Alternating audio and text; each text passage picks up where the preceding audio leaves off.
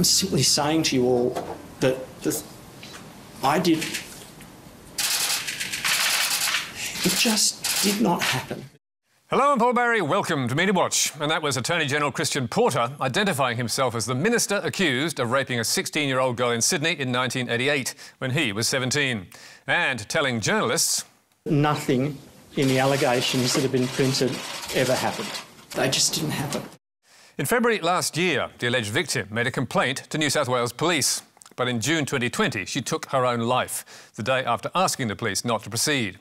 So, with the case closed and no chance of the allegations being tested in court, friends pushed her claims into the public eye, kicking off what Christian Porter and others have condemned as trial by media. Mr Porter saying he's become the victim of a trial by media. This man has had no natural justice and has had trial by media. Unfortunately, it is a trial by media at the moment. What we've seen is trial by media. And in the four corners you may just have seen, the revelations have continued as the pressure on Porter has mounted.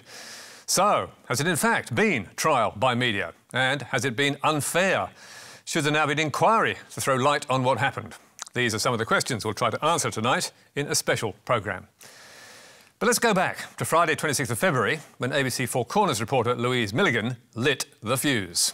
I can reveal that the Prime Minister's office, uh, the Greens Senator Sarah Hanson-Young, and Labor's leader in the Senate, Penny Wong, were all yesterday sent a letter from anonymous friends of a complainant of a sexual crime who alleges that a um, sitting cabinet minister raped her uh, decades ago before he entered politics. The shockwaves from that ABC bombshell spread far and wide, with the allegations making front page headlines in the weekend papers around the country. And for the next 48 hours, we heard only one side of the story, as the Cabinet Minister in question stayed silent and did not deny the allegations. So, come Monday, it was left to the Prime Minister to do it for him. The individual involved here has, has vigorously rejected these allegations. It was by then an open secret in Canberra that Christian Porter was the minister accused. He'd been identified by a couple of fringe news sites, and his name was trending on social media. Indeed, Media Monitor's Streem found mentions of Porter's name on Twitter jumped by 500% the day after the ABC broke the story, then doubled from Sunday to Monday, and doubled again on Tuesday. And by Tuesday afternoon, there was a tweet naming Porter every six seconds. So on Wednesday, Porter bowed to the inevitable and revealed himself to the media, denying the rape claim absolutely and complaining in carefully chosen words. No journalist has ever put the detail of the allegations to me in a way that would allow seeking a response. Not ever. All I know about the allegations is what I've read in the media. By that time, plenty of journalists had in fact contacted his office for comment, as 3AW's Neil Mitchell the Herald's Kate McClymont and Crikey's Amber Schultz made clear, only to find their calls and emails went unanswered. But Porter's complaint, his office said, was that the ABC had not put the allegations to him before publishing, and indeed they, and others who followed, had not. So why was that? The ABC told us Milligan's report was about the anonymous letter, and it had sought and received comment from the people to whom the letter was sent, including the PM's office. But the letter alleged Porter had raped a young woman in Sydney in 1988. So why was that charge not put to him? The ABC says it's not usual practice to seek a response if an individual is not named. And today, Louise Milligan had another reason, telling RN Breakfast we didn't know whether the Prime Minister had identified to the Attorney General that this letter was about him. So it, we were advised that the proper thing to do was to send the questions to the Prime Minister, and that's what we did. That is all very well, but many in politics and the media knew it was Porter, and it was highly likely his name would come out. So we believe he should have been given an opportunity to deny the allegation from the start even if he might have chosen not to do so. But does that omission alone make the coverage unfair? In my view, no. Nor does it mean the rape claims should have been ignored by the media. Yet that is the line taken in several news stories, editorials, and opinion columns in some News Corp papers and by hosts on Sky After Dark. Right at the start, the Australian's front page story headlined the fact that the family did not want the rape claims broadcast. And after he faced the press last Wednesday, the Telegraph's editorial backed the AG by highlighting what it called Porter's trial by media ordeal and describing it as graceless, unedifying behaviour by ideologically driven journalists and media persecutors. The Australian's editor at large, Paul Kelly, branded it a shameful day in our politics, without parallel in decades, if ever. And News Corp columnist Andrew Bolt called it a crazed witch hunt, railed against the foul mob, and warned none of us is safe. And over on Sky, also owned by News Corp, the mood was just as hostile. Trial by media is obscene, and so is trial by politics. And when they work hand in hand, truth falls victim to vengeance and justice is tossed aside for headlines. If you are deeply troubled by all of this, you are not alone. I studied the, the crucible at university. This is, this is Salem witch hunt stuff. And as they all complained of trial by media, Andrew Bolt began his own trial, but with the deceased victim in the dock. So I ask, is it possible that this mentally ill woman was acting under a delusion? What else did she invent, dream, or mistake. Andrew Bolt also started sifting through the evidence to uncover what he called ABC mistakes, starting with a claim in the dead woman's dossier that she and Porter had danced at the Hard Rock Cafe in King's Cross on the night of the alleged rape. The first Hard Rock Cafe in Sydney, in Darlinghurst, did not open until 1989.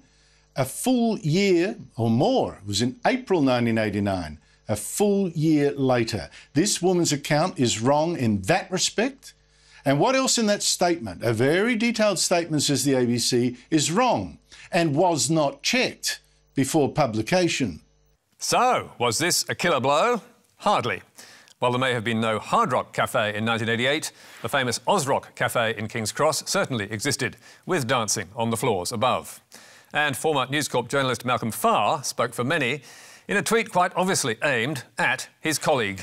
The understandable confusion after 30 years between the Hard Rock Cafe and the Oz Rock Cafe can't be used to discredit the woman's overall claims. Only fools and the deliberately malicious would. Hey, what do you know? But next night, Bolt was back with another attempt to discredit the victim. And soon his disputed claims were being recycled as fact by others on Sky to suggest the woman's account could not be believed.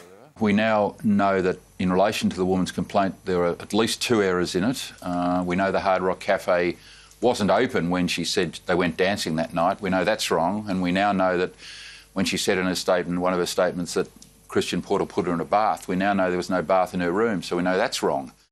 Again, not quite. The woman alleges Porter made her take a bath or a shower. And a police investigation would, of course, have tested those and other claims. But there is now no prospect of that ever happening. As John Silvester wrote in The Age, The criminal case against Porter is not weak. It is now non existent. The complainant has not made a police statement, cannot be interviewed as she has died. The alleged offender has denied the allegation. There is no forensic evidence, no witnesses, no crime scene, and no CCTV. And so the trial by media has continued, with News Corp's Daily Telegraph using body language experts to assess Porter's denials. As one told the paper. The overall presentation of himself and his message seemed genuine. And soon the punters too were delivering their verdict on Talkback Radio, clearing the Attorney General. It's just a, a Me Too thing going on here. 30 odd years ago, nobody knows this, nobody knows that. It's, yeah, yeah, it's just rubbish. Or claiming he's guilty. Was I listening to Prince Andrew or was it uh, Christian Porter? They sounded like the same sort of uh, interview. I can look at people and I know when they're lying. On social media, the debate was even uglier, with Porter found guilty on all charges by the vast majority of tweeters, despite his vigorous denials, which led Chris Uhlmann to complain on Nine. It's all played out in the media and the vile sewer of social media for clicks and political point scoring. So, how did this treatment compare to what the media dished out to Bill Shorten in 2014, when he too faced a historical rape allegation from the 80s? As the AG told Wednesday's press conference, I think a difference for the former opposition leader was that for him, while the police process was on foot, the entire Australian media left the issue to be dealt with by the authorities and did not start an attempt to conclude a public trial by media. And on that, Porter is right. After the Australian broke the Shorten story on its front page, ALP figure faces 80s rape claim. Merely identifying a senior Labor figure, there was far less speculation as to who it might be. And for the next 10 months, the mainstream media stayed quiet until Shorten outed himself.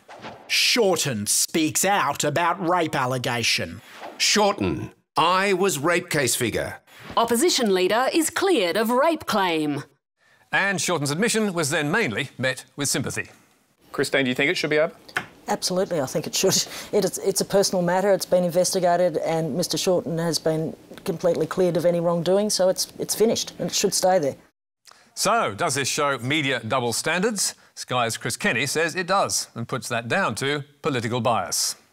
Journalists accepted legal and reporting standards in that case, but are applying different standards now over a case involving a politician on the other side of the aisle. But there is one massive difference. Bill Shorten was interviewed, investigated, and cleared by the police. And the complainant, who is still alive, got to tell her story in News Corp's Herald Sun. Porter has not been cleared because the complainant died before making a sworn statement, so New South Wales Police could not rule on whether her claims had merit. But all that aside, maybe times have changed, as Patricia Karvelas and Fran Kelly mused on the Party Room podcast. Maybe there has been a shift in our thinking, maybe even, dare I say it, maybe a positive one, which says that the level of accountability we expect from our political leaders is different. So maybe if I can be really controversial, perhaps Bill Shorten should have stepped down while the police were investigating. I think that's right. And perhaps uh, if, if we were doing this now with Bill Shorten, I think there would be a different response. Some in the media would take it much further than that. Nine's Jessica Irvine channelled the rage of many Australian women when she told Today where there are men in Parliament who are the subject of these claims. I, they are not good enough at their jobs that they're irreplaceable. Okay, and I want the Prime Minister to take a stronger stance on I this. And I can tell you for 50% of the population, we do not want people who have been accused of such things. That is surely going too far and would be a denial of natural justice. But with Christian Porter adamant that he won't step down and the PM supporting him, where do we go from here? That was the question journalists were asking last week as the AG faced the music.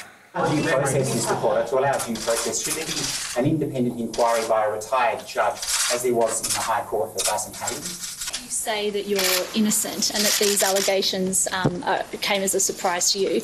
Uh, why wouldn't you support an independent inquiry that would then clear your name? One strong argument for a proper judge led inquiry is that it would provide a hearing to the complainant and a chance for Christian Porter to clear his name. And it would reassure sexual assault survivors, like The Guardian's Amy Remeikis, that their voices will be heard. You have an inquiry so people have faith in the system. So Uh-huh. people know that their voices are going to be heard and going to be treated seriously. Because why does a denial, why is that louder than someone saying this happened to me? And the parliament hasn't worked out how to deal with that. And if they can't, how do we expect anybody else to move forward on it? But the Prime Minister is adamant there will be no inquiry, claiming that anything except a prosecution, which of course is now ruled out, would undermine the rule of law. There is no other alternative for a Prime Minister than the rule of law. There's not another process. Porter's supporters in the media, most of whom are at News Corp, echo that view. On Peta Credlin's show on Sky, the Australian's Paul Kelly backed the PM's decision to reject an inquiry by saying, I think we're talking here about a star chamber. And his host agreed.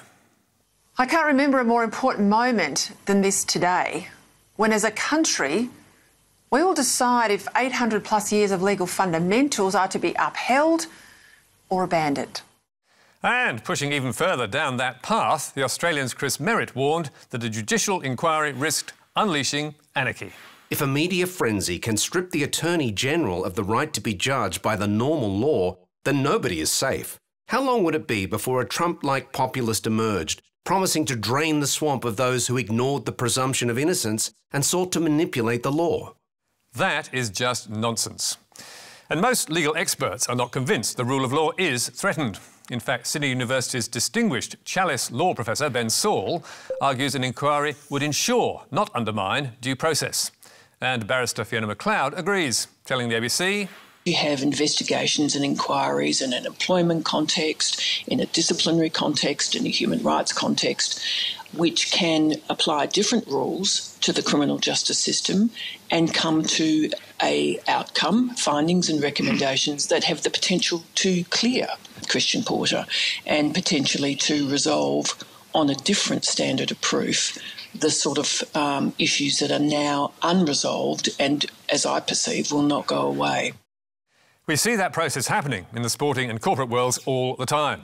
And many ask, why should we not see it in this case?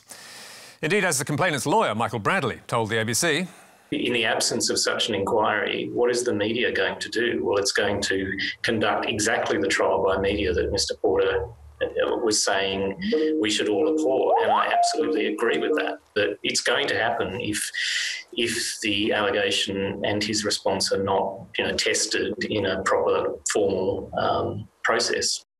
But unless the government backs down, the most we're likely to see is a coronial inquest in South Australia, which the PM has said he would welcome. That would investigate why the woman took her own life and could examine her mental state and her rape claim. And it's what news.com.au's political editor, Samantha Maiden, who knew the woman well, would like to see. So, personally, I mean, what I would like to see is a coronial inquest. I think that there is a strong argument that the justice system has failed uh, not only uh, the alleged victim, but Christian Porter, because he has not been given the opportunity to be interviewed by police, to provide an affidavit, uh, to have witnesses come forward. Meanwhile, more details were revealed by several outlets on Friday and Saturday, and a row blew up after Crikey's David Hardaker suggested that the woman's memories of the alleged rape had been recovered through therapy. That was angrily slapped down by the woman's supporters, who pointed to her diary notes from 1991 in which the alleged rape is mentioned. So, the debate and the ordeal for Christian Porter continues, as it does for the friends and the family of the alleged victim. And as the wily old politician Graham Richardson told Sky on Thursday, there is only one way to make that stop. The only way that you're going to get rid of it, the only way that it won't be appearing on the front page every second day for the next few months, is to be able to have an inquiry, make it quick, sharp, to the point. So, to go back to where we started, has it been a trial by media? Well, yes, it has. But in the circumstances, that is not surprising. These are serious allegations, and they have been managed badly. Porter and the Prime Minister could have gone public on day one, welcomed an inquiry, and said they were confident it would clear his name. Had they done that, it might have been very different especially if the media had faced threats of legal action for defamation, which it seems Porter has not made so far. That's all from us tonight. There's more on our website where you can stream or download the programme and read the statement from the ABC. And don't forget, Media Bites, every Thursday online and on social media. But for now, until next week, goodbye.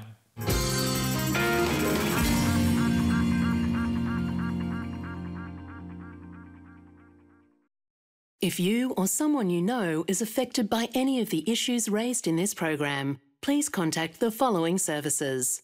Lifeline 1311 14. 1800 RESPECT 1800 737 732.